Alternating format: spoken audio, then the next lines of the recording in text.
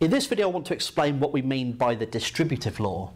And the distributive law says that if you have a times and the b plus c in a bracket, then that's the same as a times b plus a times c.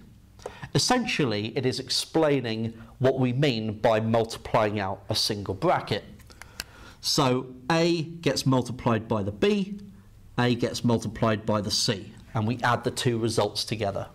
It is essentially expanding the brackets out.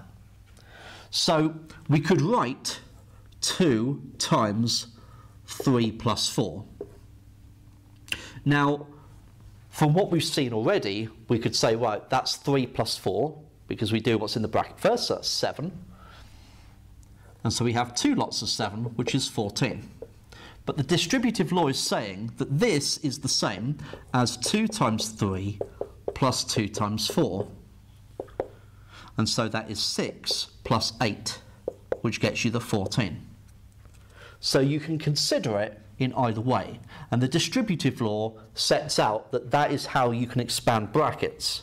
And that's what we need when we get onto algebra.